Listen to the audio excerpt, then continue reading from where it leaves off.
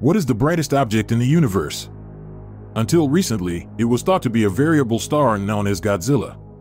But in late 2023, scientists at the Australian National University revealed that a night sky object previously thought to be a star is actually a hyperluminous quasar galaxy and the brightest object in the known universe, known as QSO J0529 4351.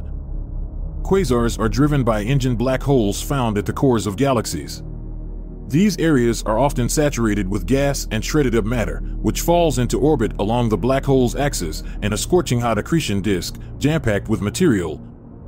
This superheated material experiences friction as it is lugged round the black hole's vicinity under its vice-like gravitational influence, resulting in enormous amounts of heat and thus huge outpourings of light, which radiate blindingly from the accretion disk and drown out the darkness of the cosmic beast underneath. This light manifests across distances exceeding a light year or more, culminating in a huge, bedazzling intergalactic beacon, which shines so bright that it drowns out the surrounding galaxy and is visible from billions of light years beyond Earth.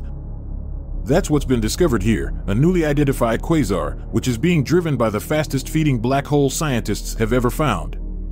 This galaxy lies over 12 billion light years from Earth, meaning it is not even 2 billion years old.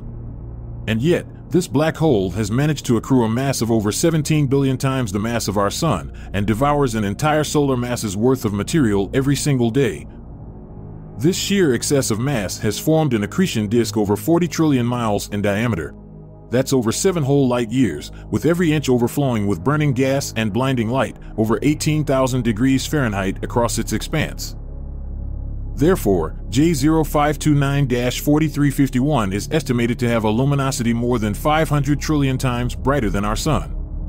Yes, you heard that right, 500 trillion times, making it by far the brightest object in the known universe. This luminous pinprick in the night sky was first cataloged all the way back in 1980 and was thought to be another star in the Milky Way galaxy for over 40 years.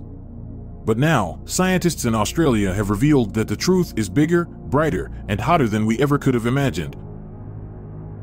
Thanks for watching the Space Shack. If you enjoyed this video, please subscribe to help our channel grow.